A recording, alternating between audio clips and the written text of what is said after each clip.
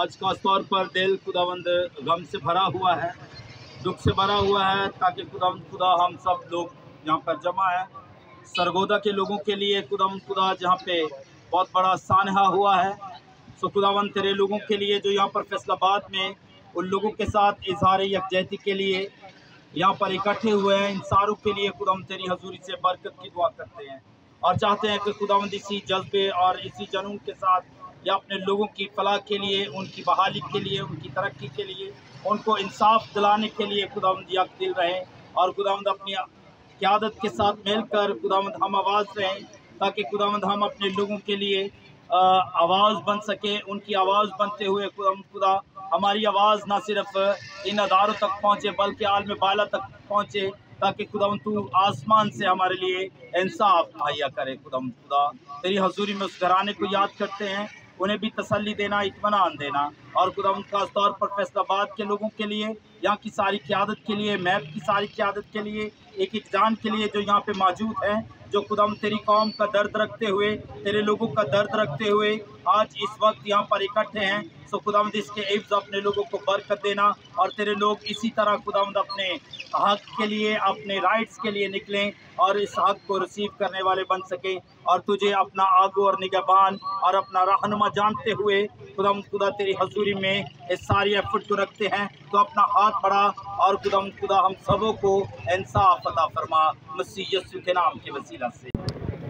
ظلم کے یہ ضابطے ظلم کے یہ ضابطے ظلم کے یہ ضابطے ظلم کے یہ ضابطے۔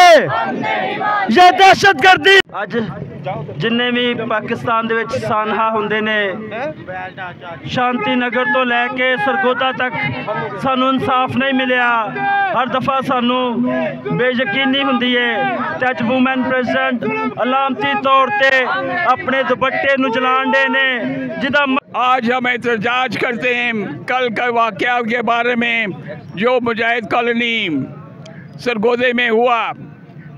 حسب معمول ایک الزام لگایا گیا اور بجائے کہ قانون کے تحت انصاف کیا جائے۔ کہ ہمارے پاکستان میں کسی بھی اس طرح کا واقعہ وقوع پذیر نہ ہو، نہ کسی معصوم کا گھر جلے، نہ کسی معصوم بزرگ کو پتھر مار مار کے قتل کیا جائے۔ نہ کسی بے گناہ کو جیل کی سلاخوں کے پیچھے بکتا بکتنا پڑے۔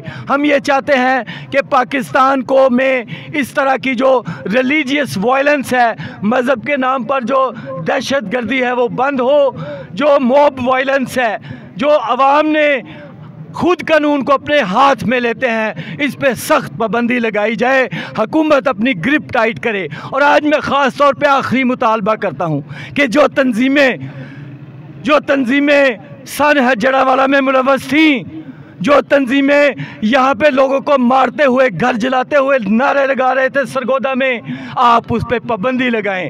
آپ نے ان کو کیوں کھلی چھوٹ دی ہوئی ہے کہ وہ یہاں پہ ہمارے لوگوں کے خلاف قتل و غارت کا بازار گرم کریں؟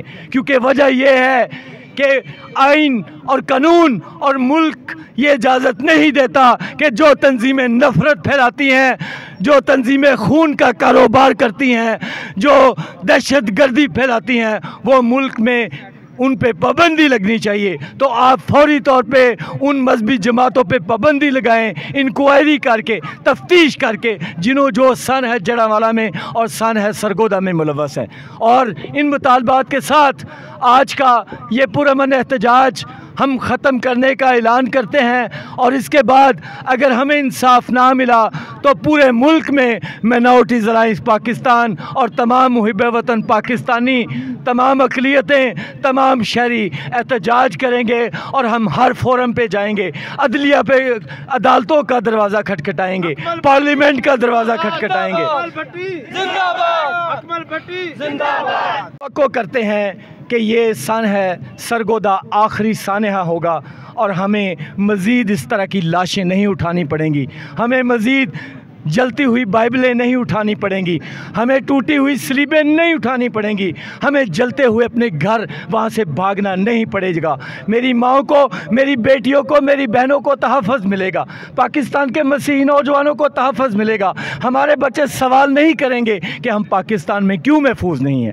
تو آئیں، ہم اس ملک کے لیے دعا کرتے ہیں۔ دعا گو ہیں۔ ہم محب وطن پاکستانی ہیں۔ ہمارا جینا مرنا یہاں پہ ہے۔ لیکن ہمیں دیوار کے ساتھ مت لگایا جائے۔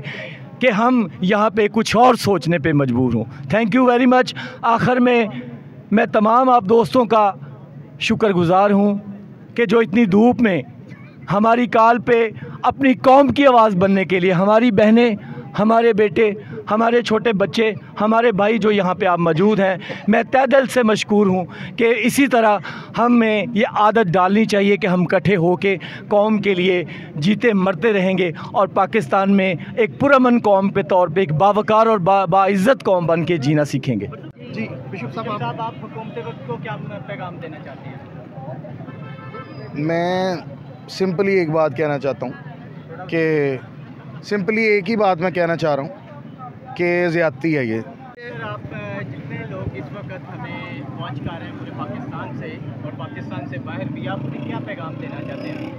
جی میں پاکستان میں بسنے والے شہریوں کو اور جو اوورسیز پاکستانی ہیں ان کو میں یہ کہنا چاہتی ہوں کہ آپ تو یہاں پر ٹھیک ہیں۔ چونکہ پاکستان ایک وقت تھا تو ہم کہتے تھے پاکستان زندہ باد۔ لیکن آج کل جو ہے وہ میں یہ کہتی ہوں پاکستان سے زندہ بھاگ۔ اس کے اس کے علاوہ ہمارے پاس کوئی چارہ ہی نہیں بچا ہے۔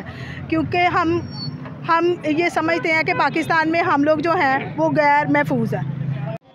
ਕੱਲ ਸਰਗੋਦਾ ਵਿੱਚ ਉਹੀ ਖੂਨ ਦੀ ਹੋਲੀ ਖੇਲੀ ਗਈ ਉਹੀ ਜ਼ਬਰ ਤਸ਼ੱਦਦ ਕੀਤਾ ਗਿਆ ਮੈਂ ਫੈਸਲਾਬਾਦ ਦੀ ਪੂਰੀ ਵਸੀਮ ਬਰਾਦਰੀ ਵੱਲੋਂ ਅਕਮਲ ਪੱਟੀ ਸਾਹਿਬ ਦਾ ਸ਼ੁਕਰੀਆ کہ میں سب تو پہلے ਪਹਿਲੇ ਫੈਸਲਾਬਾਦ 'ਚ ਪ੍ਰੋਟੈਸਟ ਦੀ ਕਾਲ ਦਿੱਤੀ। ਇਸ ਤੋਂ ਬਾਅਦ ਮੈਂ ਸਾਰਿਆਂ ਸ਼ੁਕਰਗੁਜ਼ਾਰ ਹਾਂ, ਜਿਹੜੇ ਸਾਰੇ ਲੋਕ ਅੱਜ ਇਤਨੀ ਗਰਮੀ ਦੇ ਵਿੱਚ ਵੀ ਤਸ਼ਰੀਫ ਲਿਆਏ ਯਕਜਹਤੀ ਦਾ ਇਜ਼ਹਾਰ ਕਰਨ ਵਾਸਤੇ, ਆਪਣੇ ਸਰਗੋਦਾ ਦੇ ਸਾਥੀਆਂ ਵਾਸਤੇ, ਸਰਗੋਦਾ ਦੇ ਮਸੀਹਾਂ ਵਾਸਤੇ ਮੈਂ ਇੱਕ ਗੁਜ਼ਾਰਿਸ਼ ਕਰਾਂਗਾ ਹਕੂਮਤ ਵਕਤ ਤੇ। ਆਈਜੀ ਪੰਜਾਬ ਦੇ ਕਿ ਉਹਨਾਂ ਨੇ ਕੱਲ ਪਹੁੰਚ ਤੇ ਬਹੁਤ ਅੱਛਾ ਕੀਤਾ। ਲੇਕਿਨ ਉਦੋਂ ਪਹੁੰਚਦੀ ਪੁਲਿਸ ਜਦੋਂ ਮਲਿਆ ਮੇੜ ਸਾਰਾ ਕੰਮ ਹੋ ਜਾਂਦਾ, ਜਦੋਂ ਤਸ਼ੱਦਦ ਹੋ ਜਾਂਦਾ, ਜਦੋਂ گراؤ جلاؤ ہو جاندہ ہے۔